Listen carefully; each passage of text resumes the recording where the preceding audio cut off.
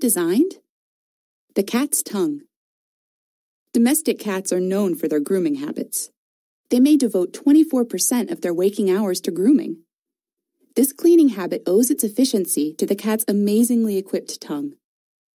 Consider, the cat's tongue is covered with 290 papillae, tiny backward facing spines that are about as stiff as your fingernail.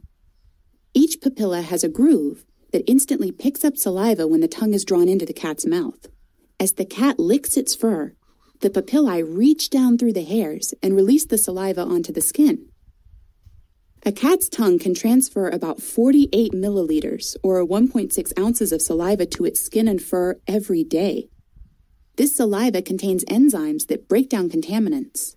Additionally, as the saliva evaporates, it provides almost one quarter of the cat's body cooling, essential because cats have few sweat glands.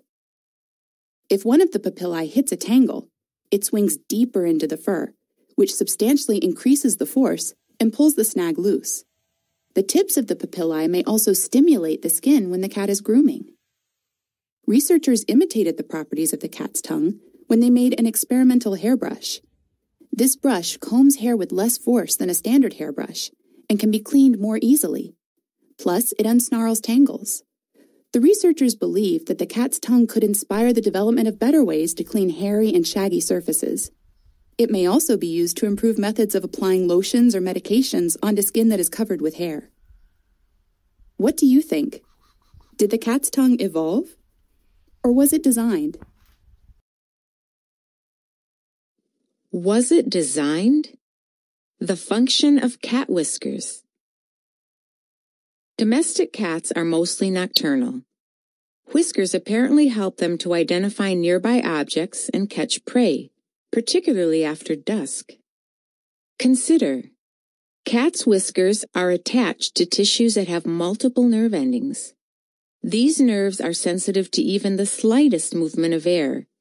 As a result, cats can detect nearby objects without seeing them, obviously an advantage in the dark. Since whiskers are sensitive to pressure, Cats use them to determine the position and movement of an object or of prey. Whiskers also help cats to measure the width of an opening before they attempt to go through it. The Encyclopedia Britannica acknowledges that the functions of the whiskers, vibrissae, are only partially understood. However, it is known that if they are cut off, the cat is temporarily incapacitated. Scientists are designing robots equipped with sensors that mimic cat whiskers to help the robots navigate around obstacles.